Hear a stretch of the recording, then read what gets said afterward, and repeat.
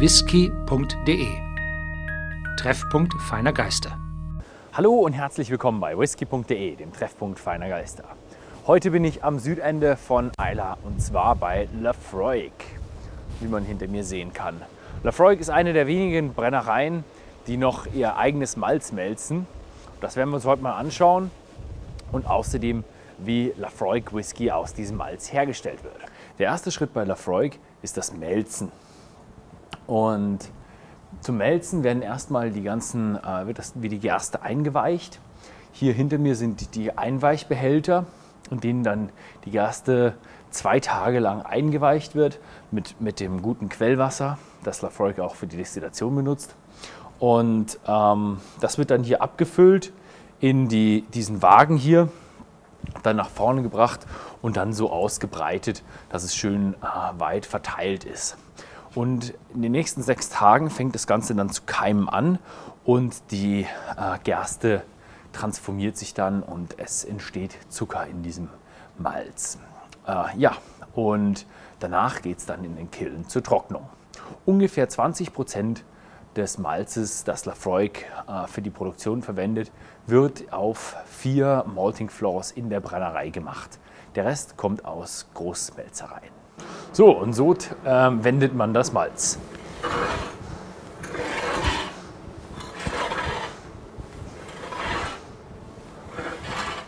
Und es gibt, es gibt auch noch eine, noch eine ältere Methode, wie man das Ganze wendet vor dem Flug, indem man es einfach so hochwirft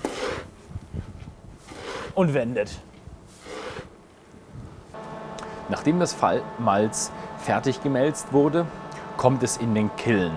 Und in dem Kiln hat es dann so hier kleine ja, Wurzeln schon und äh, wird nun getrocknet. Die ersten 15 Stunden sind mit äh, Rauch, also mit Torfrauch. Und wenn man es dann probiert, dann mh, hm, schmeckt das schon ziemlich rauchig. Mh. Hm. Die nächsten 15 Stunden sind dann nur noch über trockener Luft, um das Ganze dann so trocken zu machen, dass es gut lagerbar ist und in der weiteren Produktionskette verwendbar ist. Um den, das Torfgehalt, um den Torfgehalt einzustellen, ähm, nimmt man dann noch verschiedene äh, Mischungen aus dem Malz von Port Ellen und dem hier. Wenn man hier kriegt man so roundabout 40 bis 60 ppm raus. Kommt sehr darauf an, wie feucht das Malz noch ist, ähm, wie feucht der, der Peat unten ist und andere Faktoren. Ja, um diesen Rauch, den wir auf der Trocknungsfläche haben, brauchen wir natürlich den Peat, der in diesem Kiln verbrannt wird. Und Peat, auf Deutsch Torf, kann man sehen. Hier gibt es einmal den, den an der Oberfläche, den, den Torf, und dann noch der etwas tiefer ist. Und da sieht man, es gibt Unterschiede bei Peat, äh, bei Torf. Und zwar haben wir hier bei den Oberflächen mehr, ja, mehr Pflanzenreste. Man sieht, sieht, dass die Wurzeln der Pflanzen da sind und der untere ist schon stärker äh, komprimiert und das ist dann, geht dann schon etwas mehr in Richtung Kohle. Und mit dem Naturprodukt werden hier ungefähr zwei Tonnen in diesen Ofen befüllt.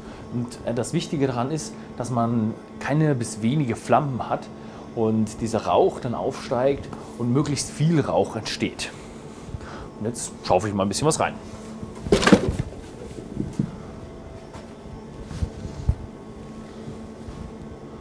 Ja, der Torf wird zweimal im, äh, einmal im Jahr gestochen und da ist es wichtig, dass man die, ja, das Wetter, dass das Wetter stimmt, dass nicht zu viel regnet, dass nicht zu wenig regnet, dass der Torf ein wenig feucht ist und wenn man ihn dann sticht, der so eine, so eine Konsistenz ungefähr wie Butter, wurde mir erzählt. Und die äh, richtet man dann auf und die werden in der Sonne getrocknet. Da bildet sich dann eine Haut und innen drin ist dann äh, die Feuchtigkeit eingeschlossen, die wir dann hier äh, im Ofen brauchen, damit genügend Rauch entsteht. Das stark getäufte Malz wird erst gemahlen und dann zusammen mit frischem Quellwasser hier in der neuen äh, rostfreien Stahl Lordertann von Lafroig ähm, zu Mash verwandelt. Und jetzt schauen wir mal rein.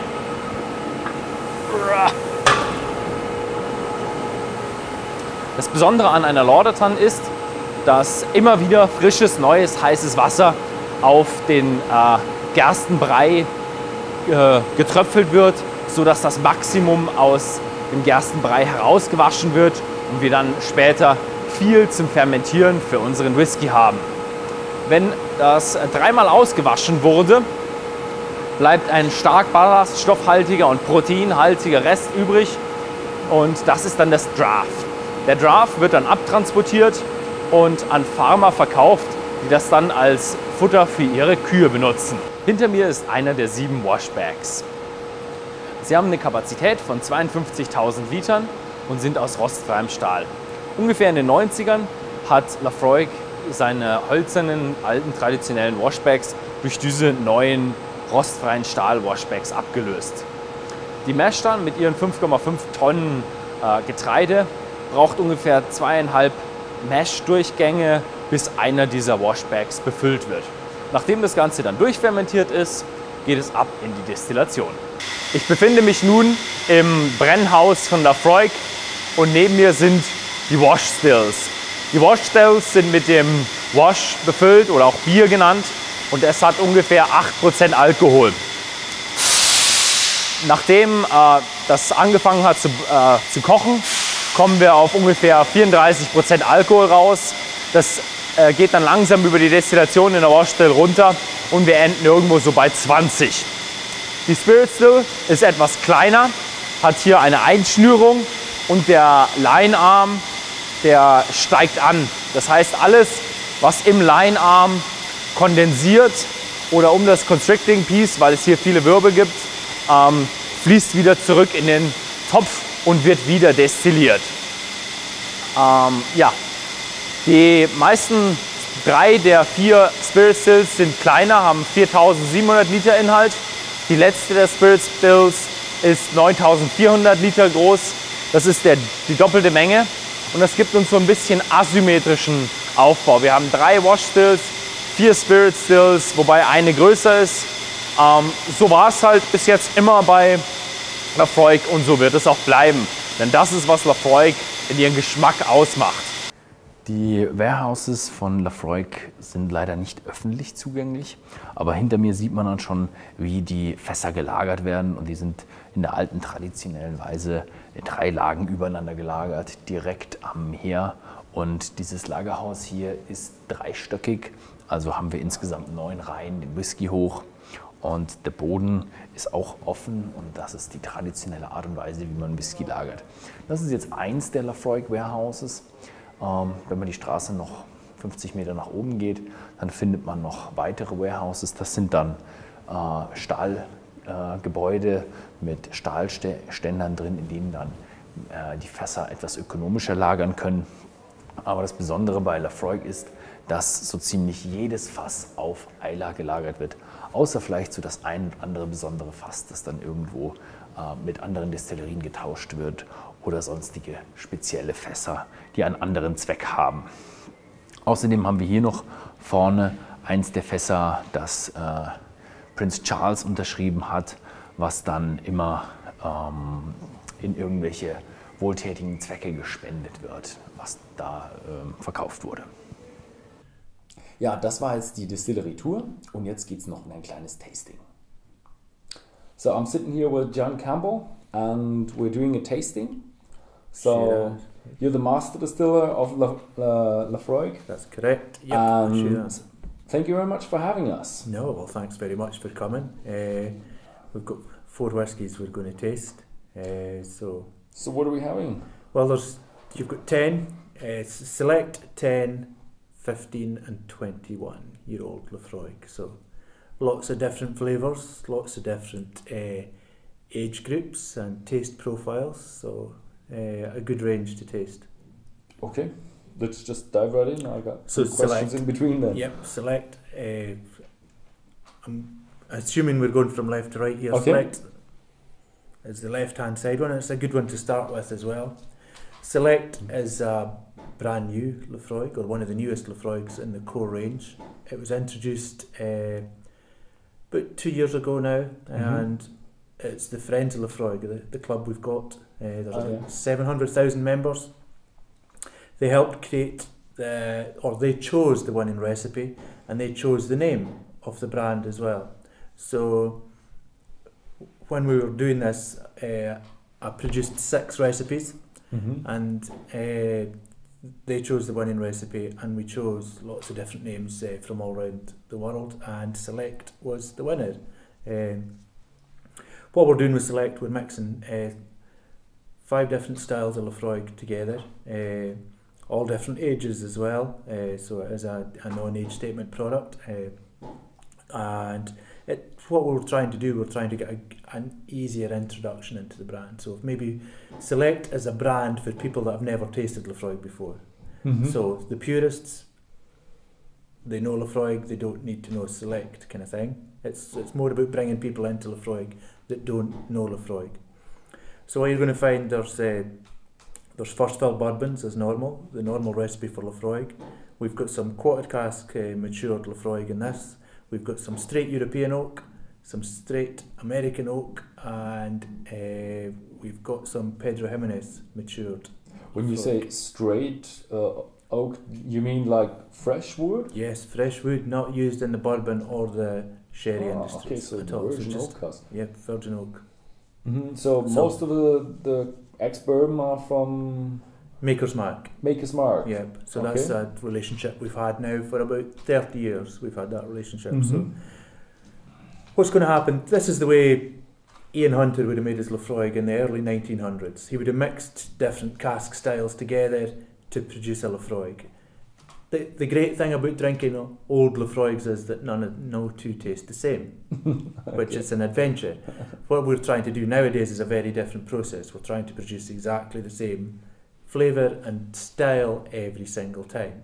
Whereas when Ian Hunter was creating his Laphroaigs, he didn't have casks coming from Maker's Mark all the time, for example. He just Mm. used to have to use the barrels that were available.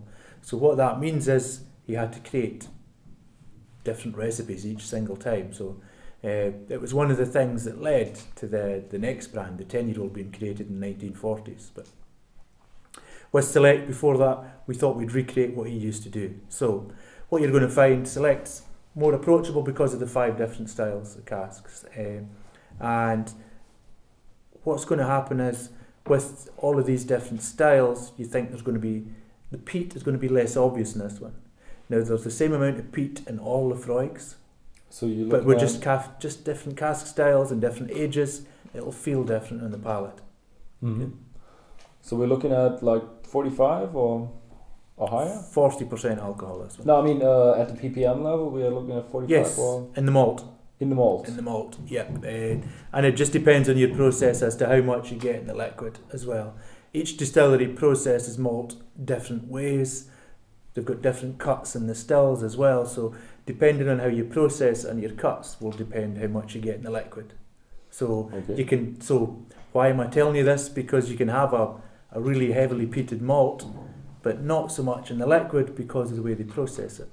So yeah, it depends on how much reflux and cuts in the stills, everything. Yeah. So um, Laphroaig has a really uh, good ratio, so we get less losses in the phenol, so we keep a high phenol level in the spirit. Okay. So yes, let's uh, go try. yeah, we should. Slange. Slange.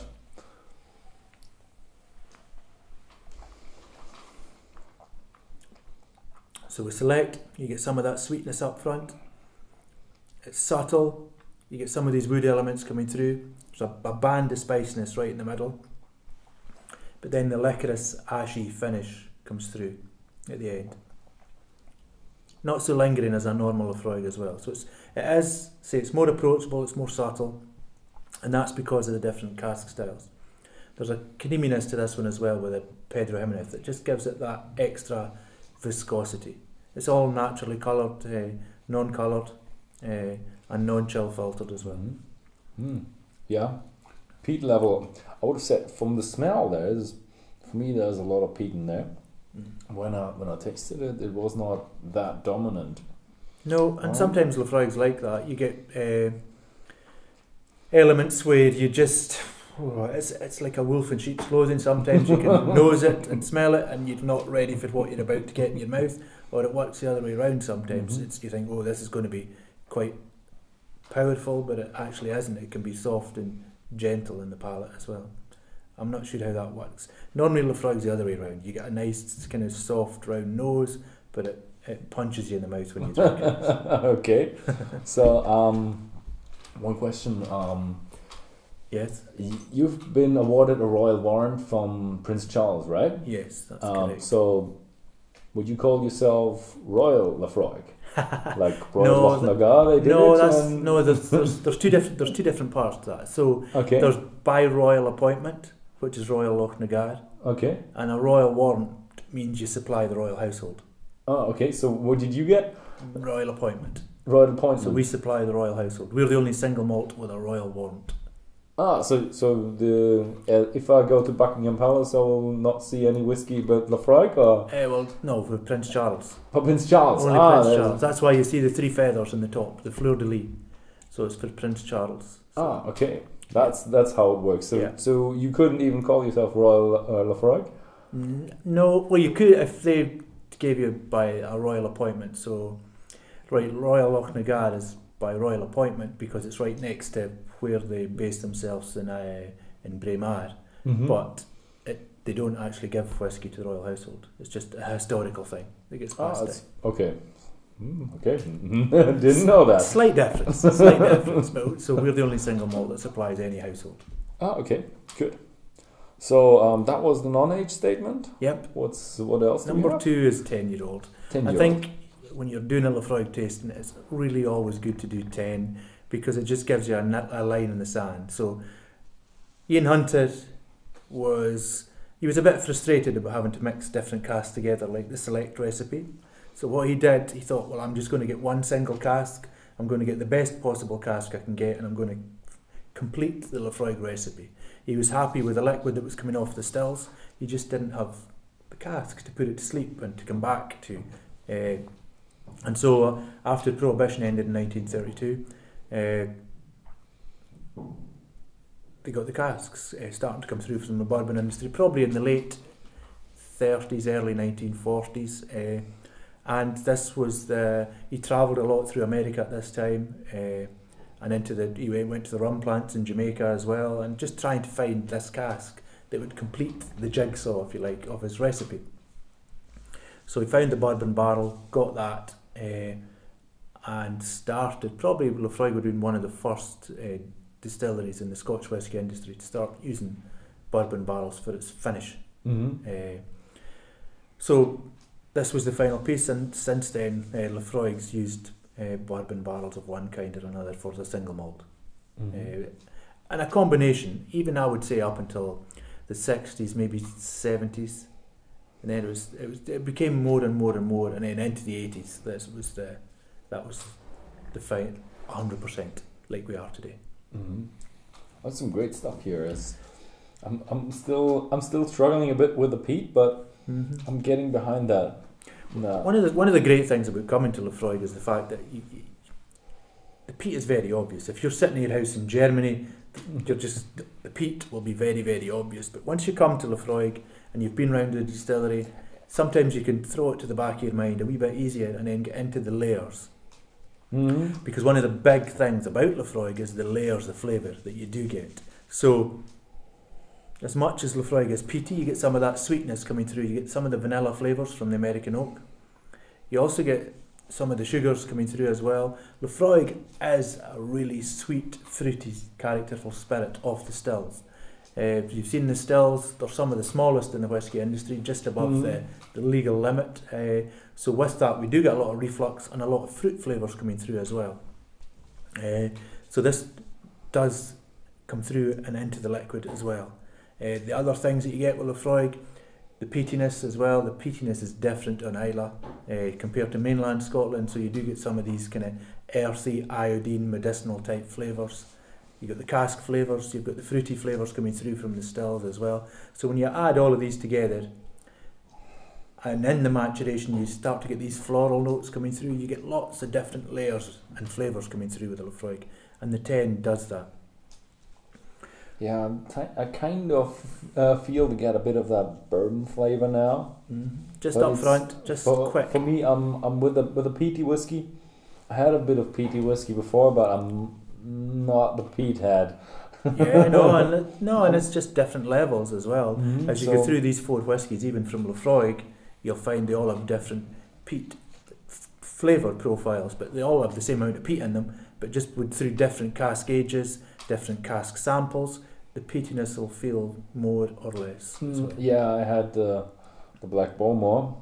Obviously, Bowmore has peat as well, but Black Bowmore didn't have that much. peat No, and you'll find just that too old for that. Well, what you find is there's two things for that. Uh, as whiskies uh, get older, they generally produce you get chemical reactions, oxidization, and that Yeah. produces different flavors. Uh, when the with the air moving out the in the cask, uh, what happens as well is if you go back 40, 50 years, the Islay peated malts wouldn't have been so heavy peated either. Oh, No. is it is it because more of different uh, different style of peating the malt? Yeah, no, just more peat in them nowadays. And like back in the even in the sixties, they would have mixed unpeated spirit with peated spirit and blended Mhm. different casks. There's lots of combinations. That's why up until the eighties or nineties, the consistency wasn't the same. I have to say, this reminds me a lot of, uh, of the malt that I had from the kiln. I tried from some from the kiln, and that just really reminds me of the yeah, kiln. no, you do get a lot of that, and that's if you were sitting at say if you were sitting at home in Germany, all you would get was peat. But because you can push these layers to the back, you'll get a lot of the, the depth coming through. You get a bit that sweetness. Yeah. Okay. Cheers. Cheers. Thanks.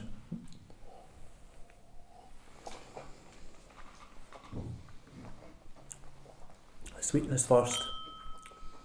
Moving into the middle of the tongue, Mm. becoming nice and uh, spicy out to the edges. A, a kind of dry, salty flavour.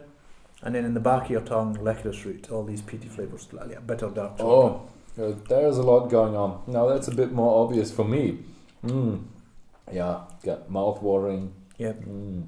And sweetness and Yeah, peaty flavours. yeah, I would even say yeah, that's licorice. I, I haven't tasted licorice before yet. It's like a bitter dark chocolate as well. So it's like a really heavy cocoa chocolate as well. That's what licorice feels like. And Yeah. we, we do keep a lot of it down in the visitor centre so we can tell people. It's And it's like licorice root. It's not like the licorice, the sweet licorice. Yeah, it's not. Look, luckily it's not that um, dominant because I the pure licorice is a bit too hard for me. Well, that's, that's okay. And that's, that's the good thing about drinking whiskey. Everyone feels what they feel. And the exchange is a very positive Mhm. thing as well. So I can tell you what I'm feeling. You might not get it, and you Mhm. can tell me what you're feeling, and I'll understand it. There's no rights or no wrongs with drinking whiskey, and one of the great things about drinking whiskey is having the confidence to be able to express yourself, to say what you're feeling, because people Mhm. are interested in what you're feeling and how they're feeling, and the exchange. Yeah, it's, it's it's amazing how it when you start to drink it, it's a bit sharp for me. It starts sharp and then rounds off in sweetness and stuff. This one does linger and linger as well, No, and it's not so ashy. This one, not so dry. Mm, yeah, I like it. So I did a bit of digging in the history Yes. of Laphroaig, and uh, there was a time when uh, your master distiller died, and someone from Lagavulin helped out for Yeah, I that's think, right. a couple of years. That's right. No, because uh, Dougal wasn't of age. So Of Donald, age. Donald vi- died after falling into a vat of the remnant from the first distillation. Uh, so he basically boiled to death. Uh, So Oh. not very good. Uh, but Dougal wasn't age, his son. So uh, the Mackies at Lagavulin or Lagavulin Distillery then distributed and ran Laphroaig for a few years. Uh, Did that have any influence on you? Like, uh, I would imagine that would have changed things slightly. Uh, they would have uh, done things. It was selling of the liquid so much. It wasn't the producing; it was the Ah, selling. okay. So, and the the ownership of the distillery under uh, their command. So uh, until the Dougal became of age. So yep. So when he became of age, he then he could take over the business and take care of things the way he wanted to do it. Yep. run the business. Okay, so Mhm. so yeah, we we found out that yeah, you have different big global companies competing with each other on the Islay, but we found out you have an agreement with Port Ellen that uh, Yeah. when things get bad, everybody gets some malt. Is is there like a really big community on Islay? Yes, it's a big family. It is a, it's very much a community. Uh, I would say it's different to a lot of other places as well. Uh, it's a, it's not a bad day today. It's nice and mild. It's but equally when your winter comes, you get a lot of storms coming through this place, and Oh, all, okay. we are all going to have to rely on each other at some point. Uh, so yes, on the island is very much a family and a community, and we all look out for each other. We all help each other. Uh, no, I it's Laphroaig comes first for me, but Mhm. then Islay, and Oh. then Scotland. So we all help each other out, and we all have to keep uh, consideration of each other's distilleries because it's it's very important for the island that Laphroaig does well, but equally Lagavulin or Ardbeg that they're doing well as well. So Yeah, it pushes the brand. You have the brand Pushes the Scotch, island, you yeah. have Islay whiskey, and you have Laphroaig as a Yes. brand. Mhm. But So- I've seen that it's just not that far away. There's a little No. walkway going down, No, it's- so, three so you can really walk there. two miles between the three of us. Two miles, okay. Yeah.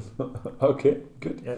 So what's the third one? So third one is uh, 15, and this was a brand we did have uh, between the early 1900, 1990s and 2008, and so it was replaced by the 18 year old, uh, and the 18 year old was just to get things non-chill filtered and non-coloured.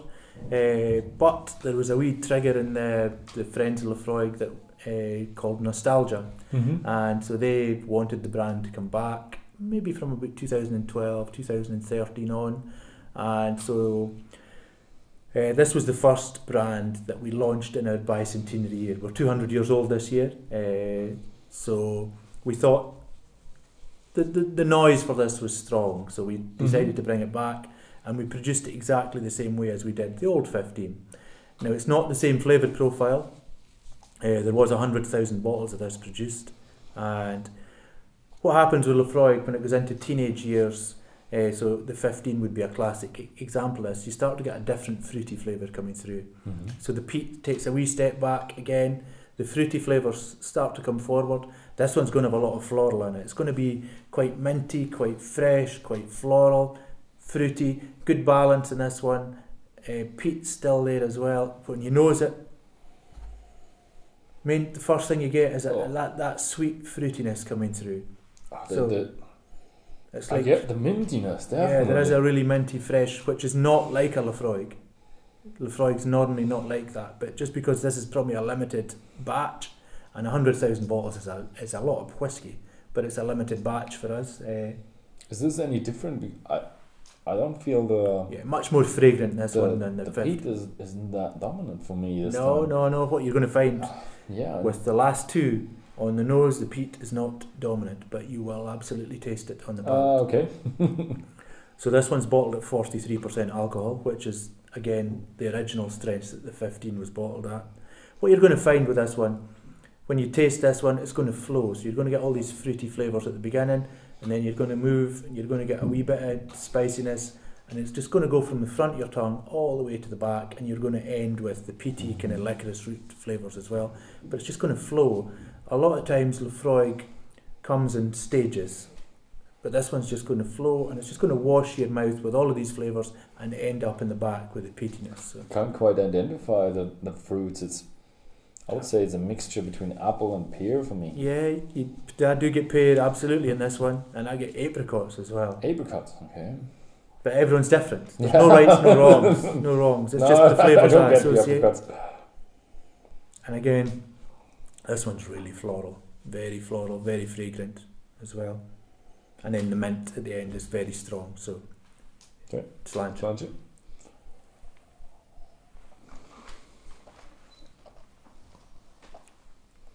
Initially a wee bit thinner, Mm.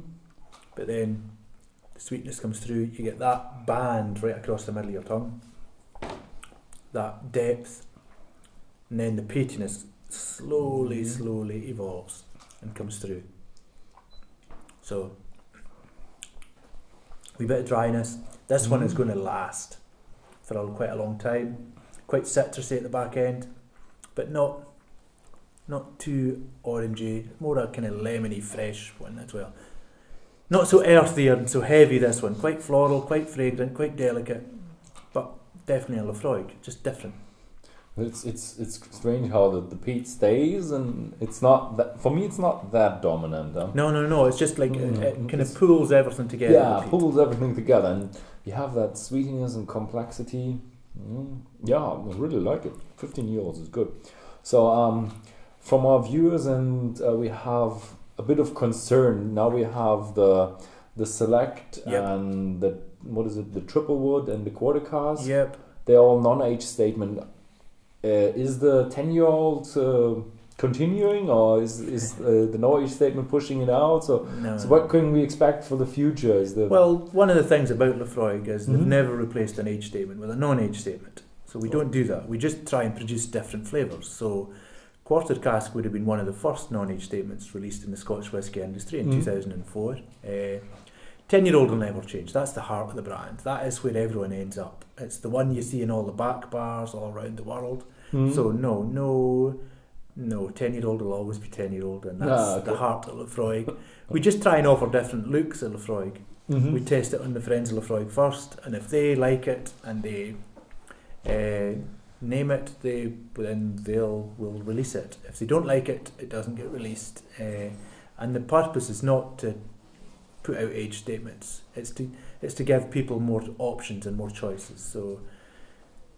Uh, no, we've never replaced an age statement with Okay. a non-age, so it's not. That's not the purpose. It's to just show a different angle to Laphroaig. Okay, so but I think global demand is rising. Yeah, no, very high, very high. So um, how are you keeping up? Uh, I've, I've No, asked one of your st- distillers. Uh, you're running 20, 20 21 shifts a week, Yeah, flat out, 24 7. twenty four seven. So uh, any plans for expansion? Yes, no, absolutely. We're looking at expansion plans. Uh, we are reviewing all that uh, just now.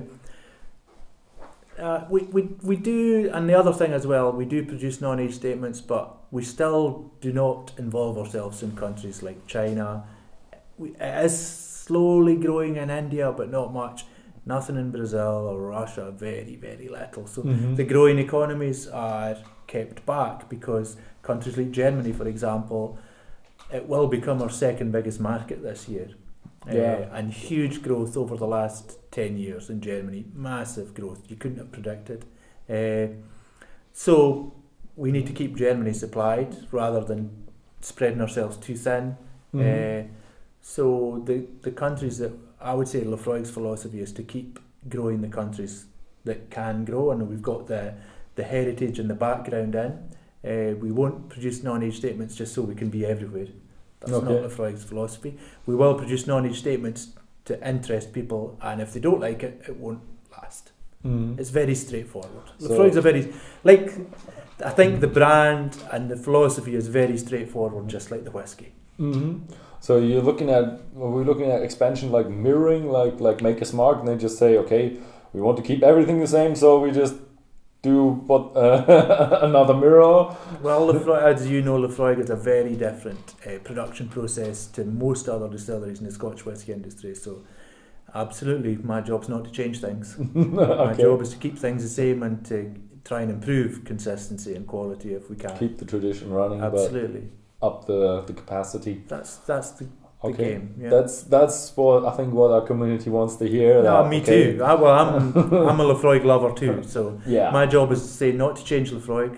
My job is not to do that at all. My job is to keep Laphroaig consistent and to try and get it to as many people as possible, uh, but not compromising what we do. hmm Good. So then we have the Yeah, the 21. So- So, the 21 is uh, was only released in uh, 35 CLs, uh, mainly for, for a couple of reasons to try and get twice the amount of bottles into people's hands, uh, and also to keep the price point in the UK below hundred pounds, so probably about 100, what, 130 euros, something Yeah, like that. something like that. So we're trying to keep it uh, there. It's a cask strength whisky. It's forty eight point four percent alcohol. Now we were talking about wolf in sheep's clothing. this is a wolf in sheep's clothing. okay. When you nose this one, you almost think, "Where's the Laphroaig?" oh, there's honey. Yeah, absolutely. Honey's straight away. Uh, but very straightforward honey. Yep. But like not no peatiness. It's like a I have to say, sweet. No, no peatiness at all in this one. On the nose, no peat. You just get honey, sweet, maybe heathery. ser- is that seriously Cereal. a right? It's no, it's, well on the nose it's not. No, nothing like it. Nothing like it. nothing like it. That's what I love about this one. It's it's full. You can you can get the age. You can get the intensity. There's some refill casks in this one and some first fill casks. If, I- Uh, if I would first smell that. I would rather go for bourbon. I have Yeah. to say. Yeah. You have the, the honey. Yeah, no, it's, it's very much like it's it's like probably a, like a Highland single malt. Yeah, or like a Highland single yeah, malt. Yeah, yep. So One the good news is when you taste it, it's going to be very, very It's different. got to be So, yeah, so slange. Slange. No, good. Ah.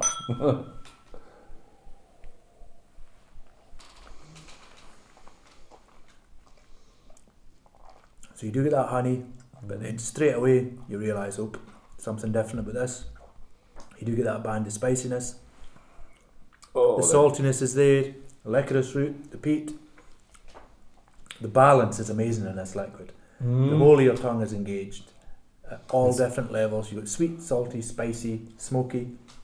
It's like like with a 15 year old have that peat, but it's a bit more subtle. Yeah, it, yeah, it, yeah. It rounds off the edges. No, absolutely. So mm, yeah, But really the, like the, the whole, and it, this one will last and last and last. This one will finish probably tomorrow afternoon about six o'clock at night. So, yeah, Yeah, I really like that. There's a because it's completely no, uh, nose to, to palate, completely different. Mm. Hmm.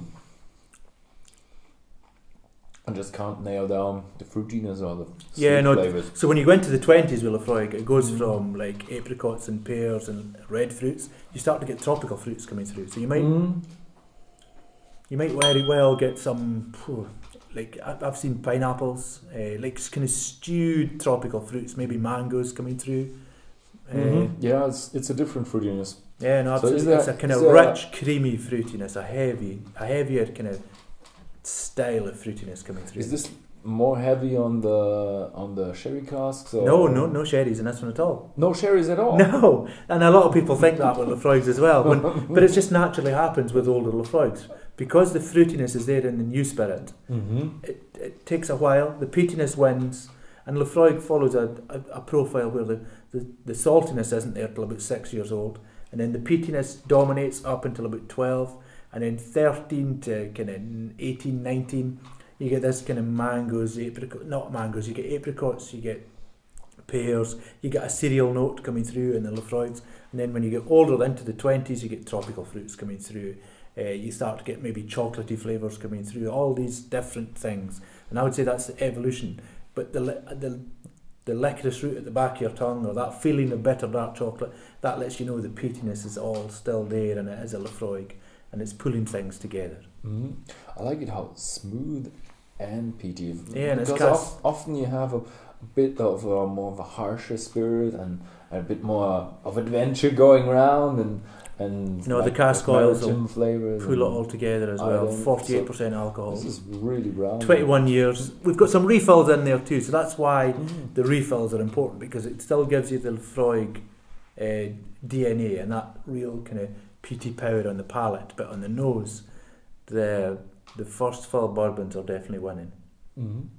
Yeah, so so we're through. So thank you for having us. No, you're very welcome. Thanks for coming along. And Thanks for letting us go around the whole distillery and showing it to our well, people. no, Laphroaig's a great thing, and the more people that understand that, the better. That's part of my job too to try and promote Laphroaig, the brand, our Mhm. philosophy, and thanks very much for your support. Yeah.